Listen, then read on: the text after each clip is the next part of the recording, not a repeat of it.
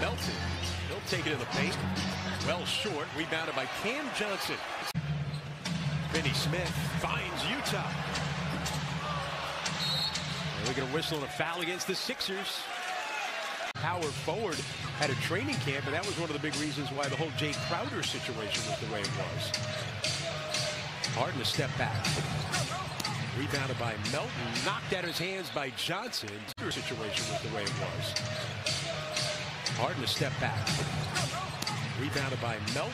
Knocked out of his hands by Johnson, but it hit Dinwiddie when he went out of bounds. Yeah, just a missed block out by Dinwiddie. So I could imagine, that was me.